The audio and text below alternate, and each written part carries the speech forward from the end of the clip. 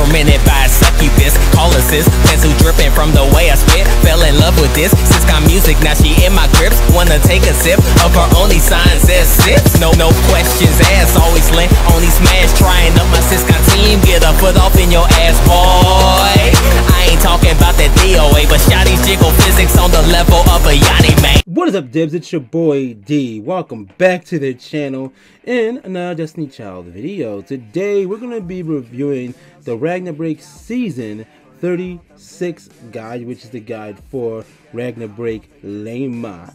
Debs, before we dive in, you're in the routine. If you haven't already, please consider leaving a like, subscribe to the channel, be sure to turn on those post notifications. We're trying to regrow our community as quickly as possible. Uh, Debs, and it can only happen if you guys hit that big thumbs up and that big bell and turn on all those notifications. With that being said, let's go ahead and dive right into this ish dibs. Let's go. So as I said, we are going to be reviewing the Ragnabreak season 36 guide divs, which is Ragnabreak Laima. We have four teams here that we're going to be going over. Actually, no, it's six different teams here that we're going to be going over. Actually, no, it's seven teams over here that we're going to be going over. So this is going to be a pretty decently long video. And towards the end of this, I'm going to actually show you when uh, the team I actually used to actually one-shot the Ragna boss. So this boss is not that hard, more so annoying because of what she can do. She has the skill to actually nerf and debuff the hell out of your stats. Like, when I say you could be hitting for 100k per hit, she could turn that into to 6,000 if she wants to. But Alright, so starting off with Titania's starter team right here. As you can see right here, of course, we have Titania up top here as our attacker, except for Slide with full ignition dib set as leader. She is a light type attacker. Following up behind that, we do have her puppet right here. I still don't remember this hoe's name. I do not remember her name, but I do have this on my Titania. Next up right here, as you can see, for our attack, for our supporters, Debs, we do have Midsummer Anemone with three ignited red stars. If you do not have her ignited, it's best to have her on slide only. If you do have her ignited to those three stars, make sure you have her on slide tap tap. Our substitutions would be Moonbeam Mona as well as Chanjit right there, the water one, of course. Following up behind that, we do have newbie Mona right here. And this says you can set up for slide or you can set up for tap in this case.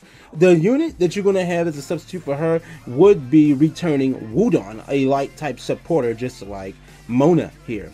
Next up, we do have Neptune, or I like to call it by our full name, Hard Worker Neptune. Pretty good unit, has always been very useful in my opinion. I still use it to the day, and it's going to be set for slide in this case. And the same goes if you want to use Bride Simile right here. You want to set her to slide dibs.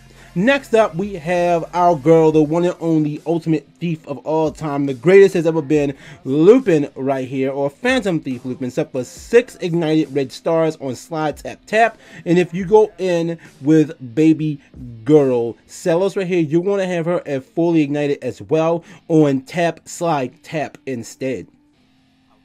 Moving on down right here to the puppets, as you can see, we do have Dano next up for um, Dano, or you have Azure Dragon King right here on um, Moon, mm, I'm about to say Moonbeam Mona on Midsummer Anemone. And for um, Lupin right here, again, I do not remember this character's name, so please don't don't quote me. I'm sorry. I do not remember all the puppets' names in the goddamn game. I really I have a hard time remembering the characters' names. Alright.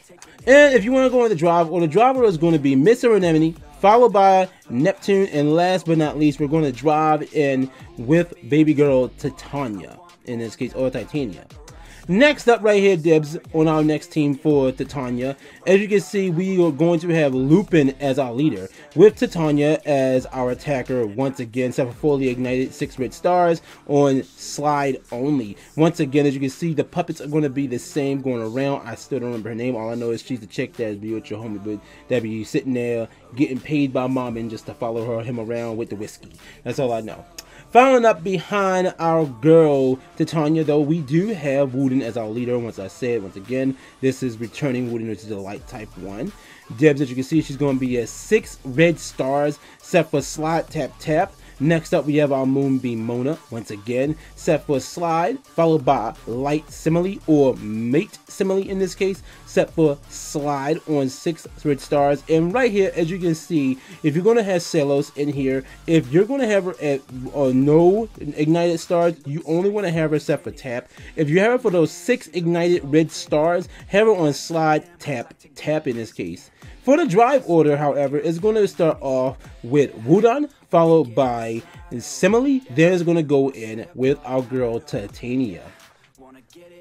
Next up, devs, as you can see, we do have our Laura Van Helsing team right here. Laura Van Helsing, you're going to want to have her at fully ignited, six red stars, devs right here, set for slide only in this case. Once again, as you can see, we do have Baby Girl set as our puppeteer on Wudon, Catgirl Nimeheim this time, and Mate Simile in this case. Now, for the rest of our team, once again, Wooden is going to be our leader, in this case for her buff. And she's going to be at 6 stars once again with Slide Tap Tap. Followed up by Catgirl Namheim. If you're going to use Namheim without any red stars ignition, you're going to have her set for slide only. If you're going to have her at fully ignited red stars, set her for slide tap tap in this case. Next up, we do have Mate Simile once again. Six stars all around the board, and then you're going to have her on slide only. Once again, Debs, we going to come in with our Celos right here, or our Salacious Celos. Debs, once again, if you have it on fully ignited red stars, you're going to have tap, slide, tap, and if you're not ignited at all, you're going to have it on tap only. Our drive order is going to be Woden, Simile, followed by Catgirl, Nimeheim in this case. As you can see right here, we do got baby girl Ziva at the bottom here looking like a snack divvies. Moving on back up to the top, we do have our Hilder um, team right here. Starting off with Bridal Hilder as our attacker set for Slide with fully ignited red stars. I cannot stress that enough, Dibs, or stress that. I have to stress it. Ignited stars work. Following up behind that, we do have Wudon following up with them uh, with the slide tap tap with the six stars around the board followed by Moonbeam Mona again or Light Beam Mona once again. Six stars slide is going to be her skill set, and then we have our girl Mate Simile with six stars and slide. But the difference with this team, as you can see, we do have Lupin on our squad this time. Lupin is going to be a six ignited red stars on slide tap tap only. One you see right here is the puppets that you would actually use in this case. Once again, I do not know her name, but I will show you her um, in a moment before we actually move into our battles itself, Dibs. Following up, also, you're going to use this for Lupin. This is the puppet I actually believe I do have on my Lupin. If not, then oh well, but I do know I have her on my Titania. Okay, so right here, this is going to be the different drive orders you can use for this team. For the first one, it says if charge and mount speed have high value, then you're going to go Wudon, Hilder, followed by Lupin. If your charge and mount speed have low value, it's going to be Wudon, Mate Simile, then Bridal, Hilder in this case. All right, moving on down to our next team, which is going to be the first team for Baby Girl Hathor. Right here. Hathor is the new unit that just came out. She's a light type attacker, tap power like hell dibs and you want to have her at fully ignited six red stars as you can see around the board for her to do her job. You're going to set her set for a tap. As you can see this is going to be the Hathor team with cleopatra's puppet. Next up we have wooden once again on six stars on slide tap tap. Uh, light beam Mona on slide with them six stars. Mate simile simile i said simile late mate simile with the six red stars and slide only. And then we have cat girl with six stars. And it says if you have her only on the six stars have her set for slide with no ignition. And if you have fully red stars you're going to set her for slide tap tap and then also, once again, you're going to have Simile as your leader, as you can see right here. So right here, I do remember this one. We do have the Cleopatra puppet on our girl Hathor. And followed up behind that, we do have Baby Girl right here. And I, I was about to call her El Dorado, but that's not her name. Next up, there's as you can see right here. For our drive order, it's going to end up being Simile, followed by Hathor, followed by um, Catgirl Nimeheim. Sorry about the background noise. Kids up there playing with the dog right now, if that's what you're hearing. All right, so next up we have our Hathor team with Cleopatra Puppet 2. So as you can see, Dibs, once again, is going to be pretty much the same team, just excluding baby girl Mona instead here. Oh no, Mona's in it, is excluding Wudun, as you can see. So for this team, Dibs, as you can see, once again, she's going to be on 6 ignited red star set for tap. For Mona, if she's ignited, you're going to have her set for slide, tap, tap. And if she's not ignited, you're going to have her on slide only.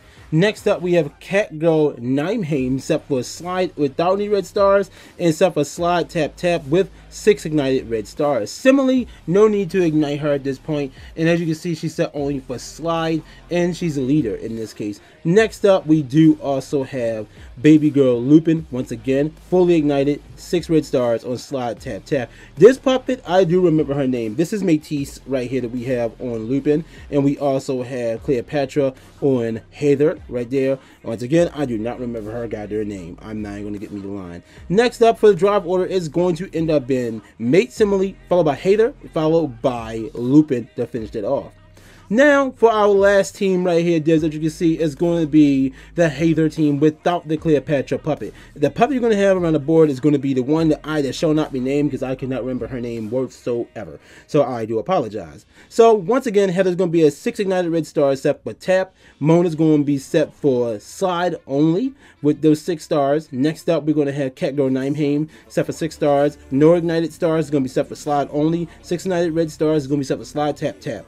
Our leader is going to end up being Simile once again on six stars on slide. And to finish off, we have Salacious Stellos right here with six ignited red stars. But if you don't have her ignited, it's suggested you have her on tap. If you do have her ignited, then set her on slide on the tap, slide, tap. And once again, I do not remember this goddamn puppet's name, so do not get me the freaking line.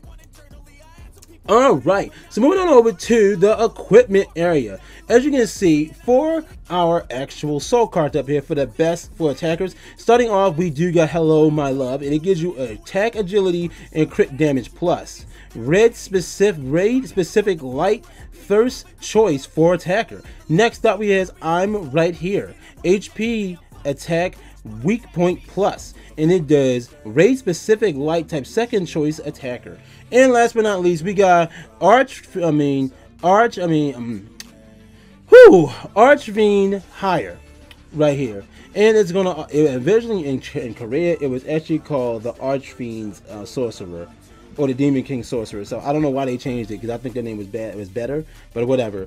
Next up, we have HP. An attack for this restores HP when attacking, and what it does is going to be a race specific light type only used for survival issues. Next up, for our supporter, we have Shrine, we have Shaman's Tan, and it does HP attack, speed, I mean charge speed plus. And it does raid specific light type speed up units. Next up, we have Reason, I mean, Risen Seth, Risen Seth, and it does attack defense, debuff evasion plus. And it gives us raid specific, it's for a raid specific light type. And for that, it does high debuff evasion. And we have the all around best soul card in the game, but one of them that's really, really good, honestly, that even meta uses today. It's called Showtime, and it does HP defense and debuff evasion. No restriction, universal debuff evasion.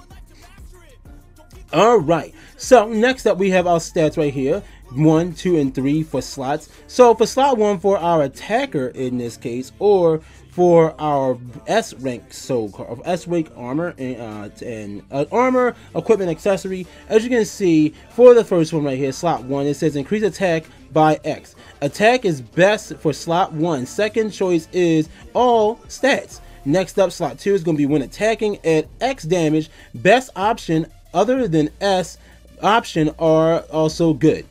Next up for slot 3, we have two choices right here. We have when attacking, add plus, ignore X, ignore defense. Next up right here, when attacking, recover X damage as HP. And when it says use ignore defense option if no survival issues. Recover option for survival slash boss gimmicks.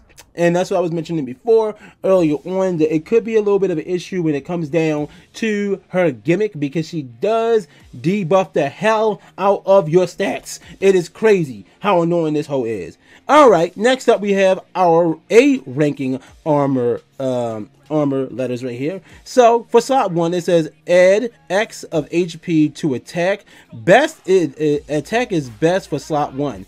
Next we have slot 2 which is going to be two different options right here. When attacking with slide skill, add X damage. When attacking with tap skill, add X damage. And it says use the right option according to your attacker's slide or tapper in this case. For our slot 3 right here for our A rank armor, we have four different options. When attacking with a slide skill, add X to X at X, ignore defense. With if attacking with a slide skill, recover X damage as HP. Next, we have when attacking with a tap skill, add X, ignore defense, and when attacking with a tap skill, recover X damage as HP. And what it says over here for our note, same, uh, same idea with S option. Slot three, use right, use the right option according to your attacker, slider, or tapper. And next up, we have our S rank for our armor now. And for our S rank, it says increase all stats by X. The best choice is other than S, only give defense and HP. Next for slot 2, as you can see, if hit by an attack, reduce damage by X of HP. When I mean, the first choice, second choice is just reduce damage. Next up, it says, if hit by an attack, recover X damage as HP. The only choice is in this slide. So, as you can see, that's the only one. So next up, for our armor, as you can see, A and B options here.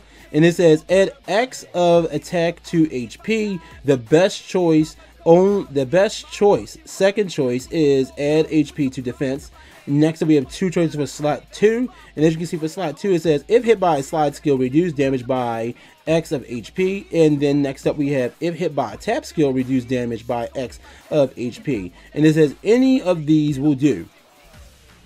Following up behind that, we have the same thing for slot 3, which is going to be a B rank. And it says, if hit by slide skill, recover X damage as HP. And for the second one, it says, if hit by tap skill, recover X damage as HP. And once again, it says any of these two will do. Moving on down to our accessories, finally dibs. As you can see, for our first slot for our S rank accessory, it says increase attack by X. Attack is best for slot 1. Second choice is all stats. Next up for slot 2 for S rank, it says increase debuff evasion by X.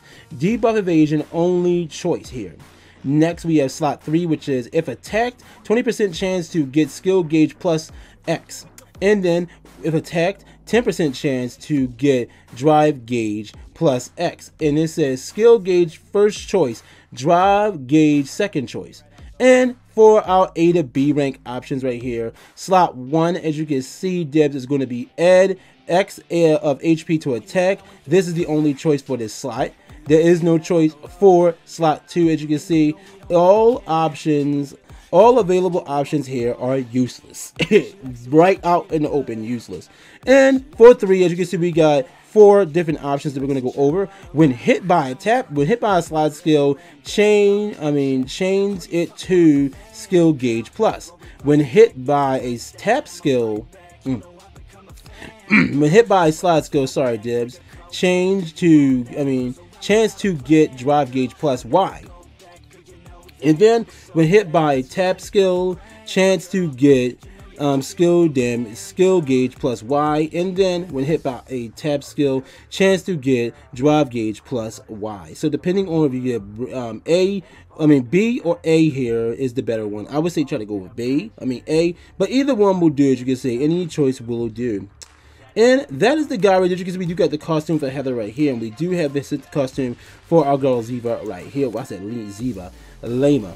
So I'm going to hop on over to the game, Dibs. Before we do, be sure to show some love to the creator of this guide. It was none other than the homie Saturn right here. Dibs, I'll be sure to leave a link to the Discord server that they're mainly in, as well as a direct link to the guide in my comment section. As though at the moment, I still can't put links in my description. But let's pop on over to the game. Alright, before I actually show you the battle itself, as you can see right here, this is the puppet's name right here, Lowly Nymphlands Puppet right here. So, I'm going to go ahead and show you an idea one shot, but I did want to show you one more thing. we're gonna go right over here to the lead to this actual boss's buffs. So right here, Dibs, this is what she actually does, and this is what we gotta worry about. Dibs her slide skill and her tap skill.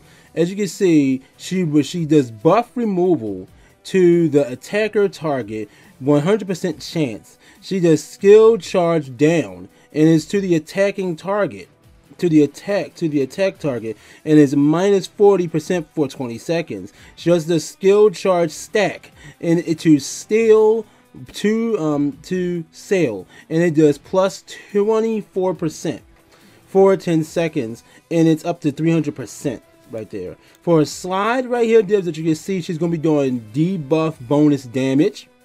Next up, debuff evasion minus, and she also does uh, attack down dibs as well. So this is what I was talking we had to worry about when she does her her drive. She does D she does debuff bonus damage, and she also does time alteration right here. Dibs to our actual attackers. For her leader buff, as you can see, she does debuff evasion, debuff duration cut, as well as skill um, defense up experts. I mean, except weak points. So yeah. But alright, let's show you this one shot. Alrighty, level 30 is here. Let's go. So, as I said, I'm not sure. I'm not 100% if we're going to be able to, but we are definitely going to try.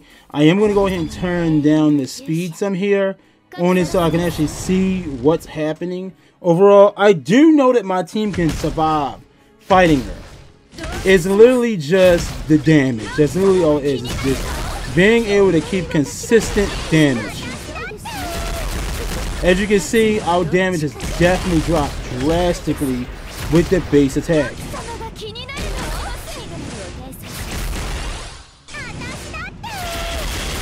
Alright, so we are pulling out some crit there, which is why I was saying I definitely need to, um, I definitely need to have a um, catalyst of doing, having more buffs coming in at a faster rate. Because as you can see, it's definitely only hitting for 20s when it first was hitting for 60s and 100, with 60,000 and 170,000 and stuff. But their attack has dropped drastically now.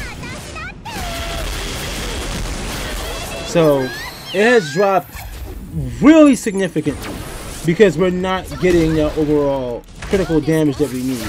Which is more than likely why I said I'm probably going to swap in Lupin and take out um, Mona because the damage is just way too low for me. To be comfortably battling her.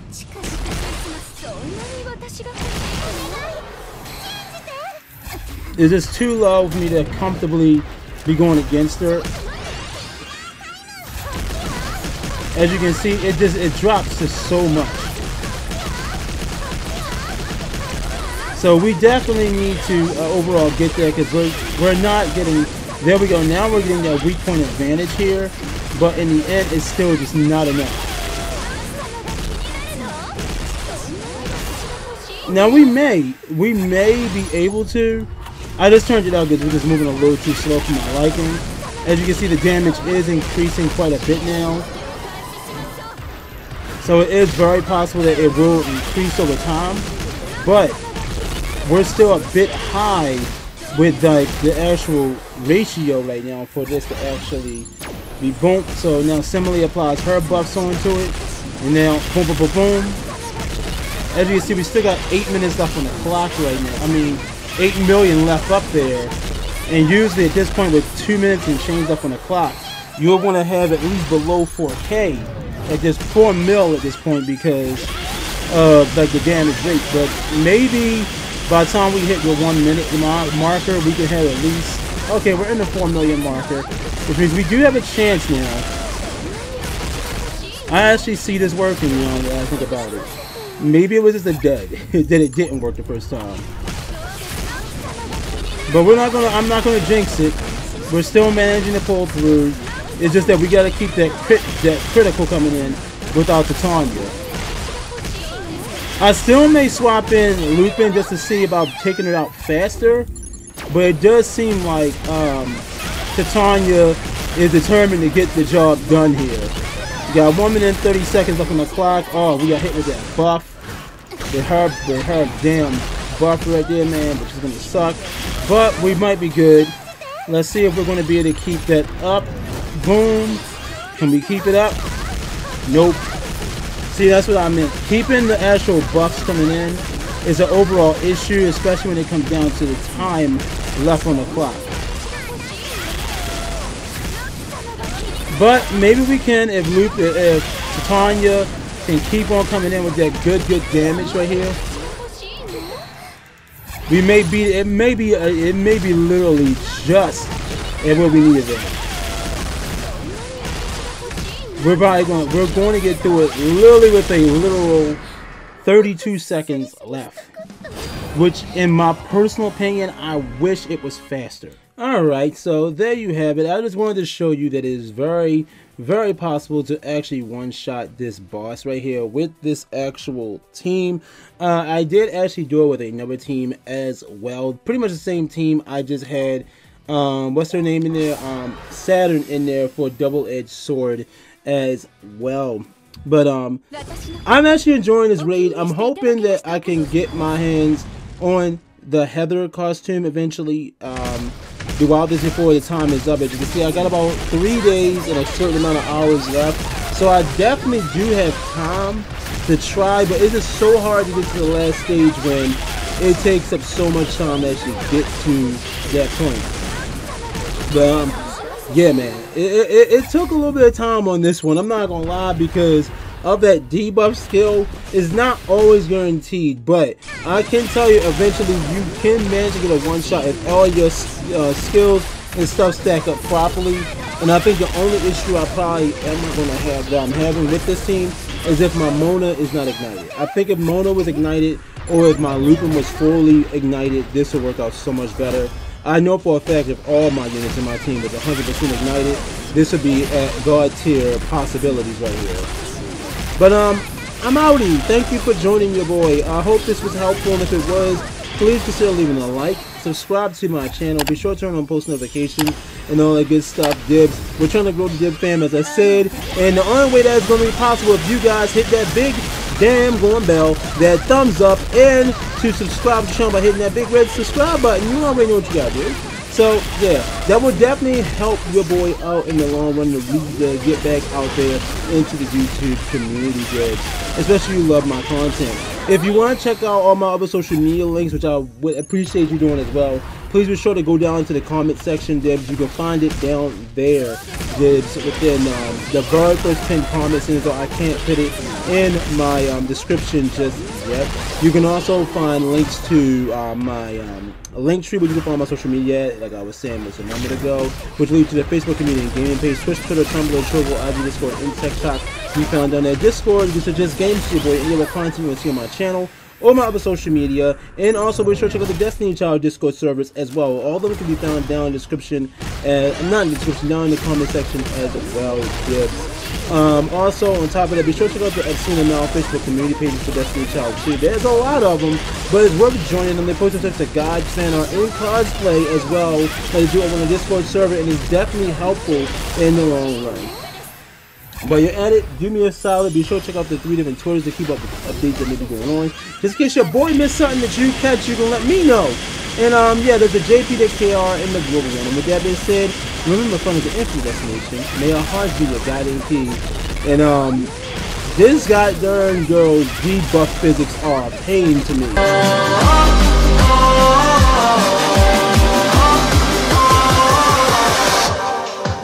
I'm coming for the throne